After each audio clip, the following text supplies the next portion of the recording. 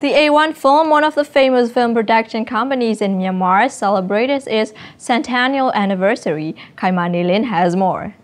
A1 Film holds a celebration to mark the achievements along Asian Myanmar film industry. Exhibition for antique film production machines and photos from movie scenes and competitions for acting and singing of A1 theme songs are also included in the event.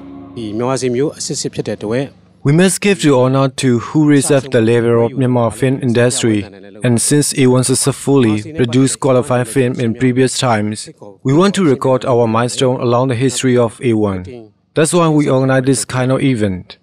Organizers hope young generation would see the milestones of A1 film productions by observing around the event. We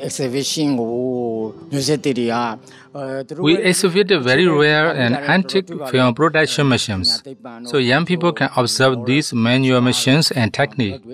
It's also a witness that people could see how Myanmar film industry developed at those times. Senior actors are among the visitors and pointed out the condition of today's movie industry compared with those days. I think at the time there is no recreation and entertainment for the people except watching movies. Now there are so many recreations and very few numbers of cinemas that almost all people are lack of interested in Myanmar movies I think. So we need to try hard more and more to gain a great attention from audience like those times.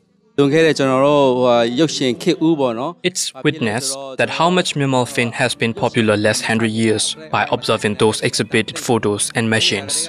I appreciate to A1 Film Productions since they had many achievements those times. The celebration has been started Friday and will be ran till Monday. Kaima for MITV, Myanmar International Television.